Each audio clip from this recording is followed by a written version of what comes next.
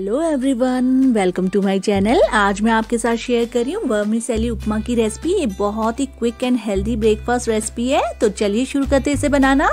सबसे पहले गैस पर एक कढ़ाई रखेंगे। फ्लेम मीडियम रखेंगे। इसमें डालेंगे one tablespoon refined oil oil को गर्म होने देंगे। अब हम इसमें एक कप वर्मिसेली डालेंगे। इन्हें सेमिया भी कहते हैं। इन्हें थोड़ा सा रोस्ट कर लेंगे दो मिनट तक। गोल्डन ब्राउन होने तक।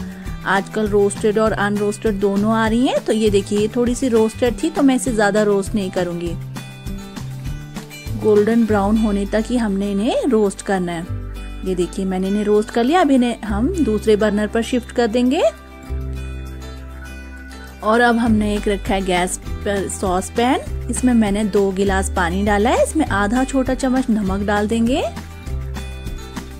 अब पानी को बॉयल होने देंगे।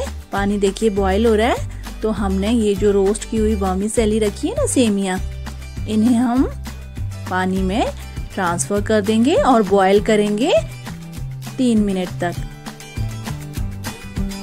मीडियम फ्लेम पर बॉयल कर लेंगे। ये देखिए, तीन मिनट हो चुके हैं चेक कर लेते हैं। ये देखिए वॉमी सैली सॉफ्ट हो गई है ओवर कुक नहीं करेंगे, नहीं तो ये मैशी हो जाएगी। अब गैस की फ्लेम ऑफ़ कर देंगे और पानी को स्ट्रेन कर लेंगे। तो एक बोल में स्ट्रेनर लगाएँगे। और पानी निकाल देंगे। और इन्हें ठंडा होने देंगे। साइड में रख देंगे इनको। अब हम गैस पर कढ़ाई रखेंगे एक और और फ्लेम मीडियम रखेंगे। और इसमें डालेंगे दो टेबलस्पून रिफाइंड ऑयल एक और डाल देंगे। ये दो टेबलस्पून मैंने रिफाइंड ऑयल डाल दिया।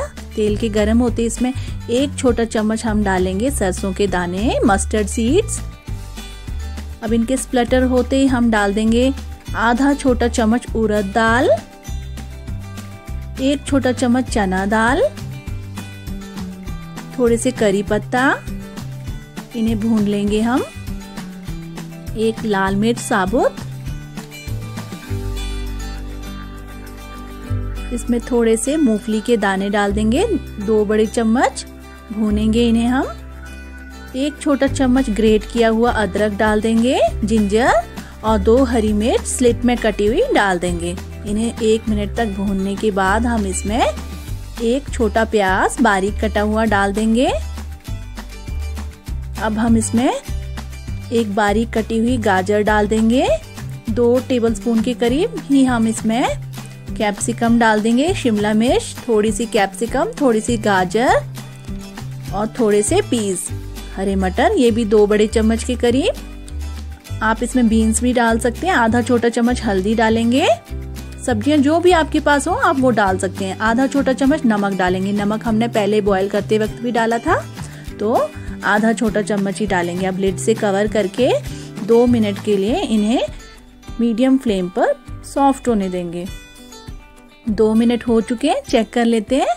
ये देखिए, सब्ज़ियाँ बहुत अच्छे से सॉफ्ट हो चुकी हैं। अब हम ये जो बॉईल की हुई वर्मी सैली है, इसे डाल देंगे। और अच्छे से मिक्स करेंगे सारी सब्जियों के साथ। आप कोई भी सब्ज़ी इसमें ऐड कर सकते हैं, जो भी आपकी पसंद की हो। बीन्स कैप्सिकम कैरेट पीज अच्छे से मिक्स कर लिए अब हम इसमें एक बड़ा चम्मच नींबू का रस डाल देंगे।